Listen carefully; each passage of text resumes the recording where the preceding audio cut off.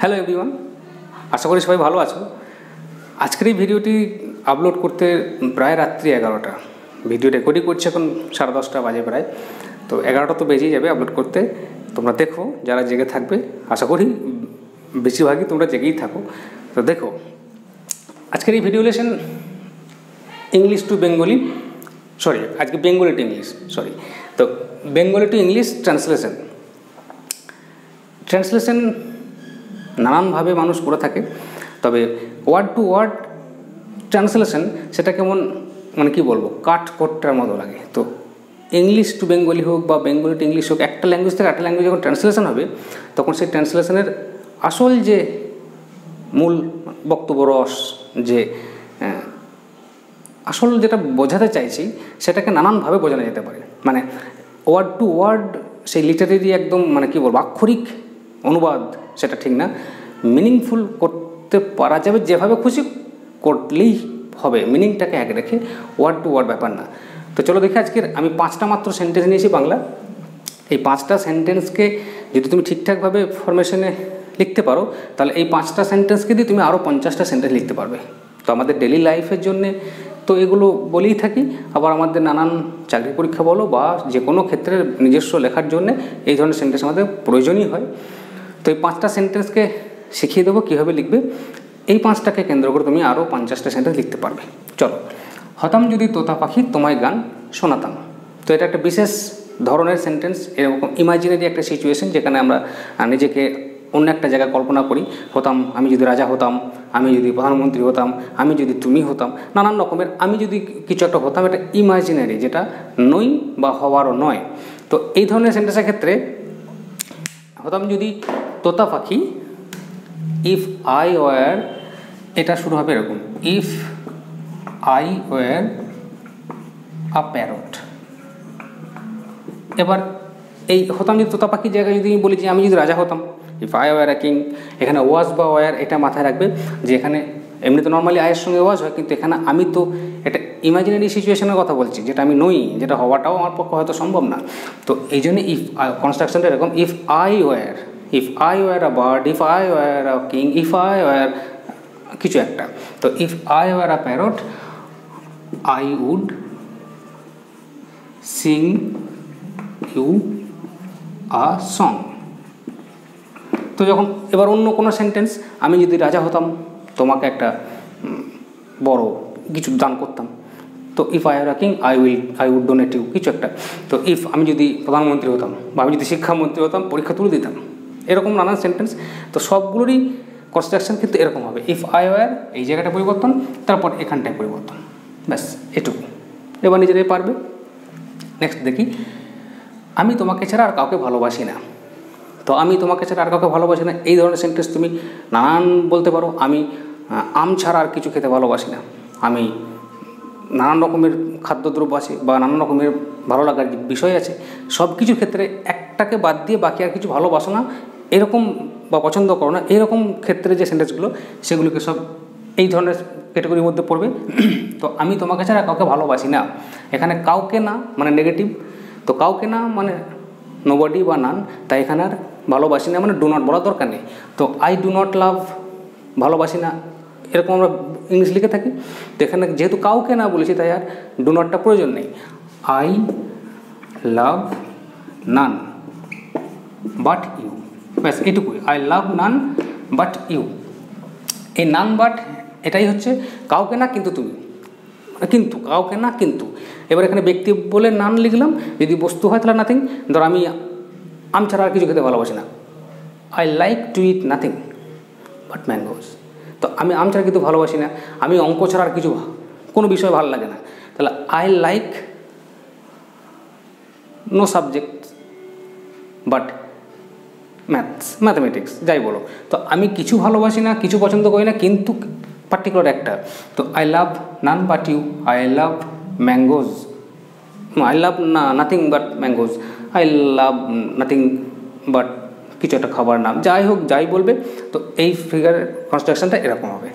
এরপর এসে দেখি, ফুলটি ফুটবো ফুটবো করছে। নানান সেন্টেন্স বলে থাকি, চাঁদ উদ্বুর্ব করছে, সূর্য ডুবু ডুবু বা সূর্য উদ্বুর্ব করছে, ফুল ফুটবুর্ব করছে, আমি যাব যাব করছি। এরকম যত রকমের সেন্টেন্স আছে, এই যে বাংলা ওয়ার্ডটা এটা দুবার থাকবে, আমি যাব যাব, সে আসব আসব, ফুলটি ফুটবো ফুটবো, চাঁদ উঠবো উঠবো, সূর্য ডুববো ডুববো এরকম যত আছে, তো দ্য ফ্লাওয়ার ইজ এটাকে আবার কন্টিনিউয়াস প্রেজেন্ট কন্টিনিউয়াস ভেবে নিয়ে ইজ ব্লুমিং বললে হবে না। এটা মাথায় রাখতে হবে যে এই ফুটু ফুটবু করছে, আসব আসব করছে, যাব যাব করছি, এগুলো সব কিন্তু কন্টিনিউয়াস না। The flower is about to bloom ব্যাস, এই যে অ্যাবাউট টু মানে কোনো কাজ প্রায় হয়ে এসেছে বা হব হব কিছুক্ষণের মধ্যেই হয়ে যাবে সেই ক্ষেত্রে about to the flower is about to bloom লোকটি মরো মরো অবস্থা the man is about to die the man is in a dying condition একই সেন্টেন্স একই মানে the man is in a dying condition the man is about to die নানা রকম ক্ষেত্রে এটাই ইউজ করবে অ্যাবাউট টু যে কাজটা করব করব বা হব হব অ্যাবাউট টু সে এই যে ব্লুম মানে ফোটা, তো the flower is about to bloom হয়ে গেল, এই ধরনের তুমি এবার নানান সেন্টেন্স লিখতে পারবে। সে অঙ্কে ভালো। অঙ্কে ভালো মানে অঙ্ক ভালো করতে পারে, অঙ্কে পাকা। তো এই সেন্টেন্সটার অনেক কিছু ইংরেজি লেখা যায়, যেমন ধরো he is strong in maths mathematics পড়ে লিখলাম না ম্যাথস লিখলাম। He is strong in maths বা he is good at maths এই যে গুড অ্যাট স্ট্রং ইন খেয়াল রাখবে, এখানে অ্যাপ্রোপ্রিয়েট প্রিপোজিশনেরও ব্যাপার আছে। স্ট্রং হলে ইন গুড হলে অ্যাট আবার যদি এই ভালোর উল্টোটা বোঝায়, খারাপ, দুর্বল, তাহলে এখানে weak in bad at he যদি সে সে অঙ্কে কাঁচা তাহলে he is weak in maths he is bad at maths এই দুটো তো নর্মাল ইংলিশের সেন্টেন্স গেল। এবার এসো এটা ভালো ইডিওমেটিক এক্সপ্রেশন দিয়ে ইডিয়ম দিয়ে। সে অঙ্কে ভালো he is at home in maths এই যে অ্যাট হোম এটি হচ্ছে একটি ইডিয়ম যারা ভালো ইংলিশ লিখবে, তারা কিন্তু এগুলো ইউজ করবে না। He is at home in maths mathematics তো অ্যাট হোম মানে হচ্ছে এক্সপিরিয়েন্স এক্সপিরিয়েন্স করব না মানে স্কিলফুল কোনো কাজ যদি কেউ ভালো করতে পারে, তারা তাকে অ্যাট হোম যেটা অ্যাট হোম মানে কমফোর্টেবলও হয় মানে কোনো জায়গায় আমি ভালো অনুভব করি, এই ইডিয়মে দুটো মানে আছে, একটা হচ্ছে কমফোর্টেবল আর একটা মানে হচ্ছে স্কিলফুল তো he is at home in maths তিনটেই মানে হচ্ছে অঙ্কে ভালো। নাম্বার ফাইভ লাস্ট ওয়ান আম খেতে মিষ্টি। যে কোনো জিনিস খেতে কেমন, আমরা নর্মালি বলে থাকি যে it is bitter to eat it is sweet to eat normally আমরা বলে থাকি স্পিকিংয়ের জন্যে বা স্পোকেন ইংলিশ যেটা আমরা বলে থাকি। তো স্পোকেনের ক্ষেত্রে যে কোনো ল্যাঙ্গুয়েজের জন্য যা খুশি বলো, কোনো অসুবিধা নেই জাস্ট মনের ভাব প্রকাশ করতে পারলেই হবে। কিন্তু যখন রিটেন ফর্মে আসবে, তখন এক্স্যাক্ট ভালো লেখাটাই উচিত হবে, তাতে তখন অ্যাপ্রোপ্রিয়েট হবে এবং স্ট্যান্ডার্ড হবে। তো আম খেতে মিষ্টি এরকম হাজারো জিনিস আমরা বলে থাকি, কার কেমন খেতে? স্বাদটা কেমন? তো যে জিনিসে হোক না কেন, এখানে শুধু লিখে দেবে ম্যাঙ্গো ম্যাঙ্গোজ ম্যাঙ্গো যাই লিখবে টেস্ট ম্যাঙ্গো টেস্ট সুইট শুধু ম্যাঙ্গোজ যদি লিখো, তাহলে টেস্ট এসটা বাদ যাবে এই আর কি। তো ম্যাঙ্গো টেস্ট সুইট এবার তুমি যদি কোনো তেতো জিনিস লেখো, তাহলে ওয়ার্ডটার নাম লিখে দেবে।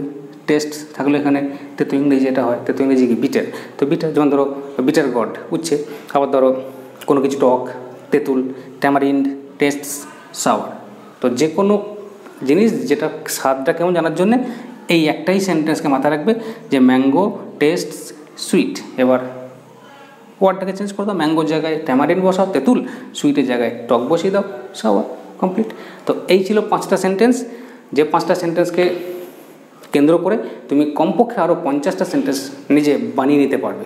কোনো চিন্তা নেই, একটাই ফরম্যাটকে মাথায় রাখবে, এবার যেখানে যেখানে চেঞ্জ করা দরকার, সেখানে সেখানে চেঞ্জ করে নেবে। তো এই ছিল আজকের খুব অল্প সময়ের ক্লাস অনেক রাত হয়ে গেল, সারাদিন আজকে বিন্দুমাত্র সময় পাইনি ভিডিও তৈরি করার। তো দেখবে, ভালো লাগলে লাইক কমেন্ট শেয়ার সবই তোমরা জানো।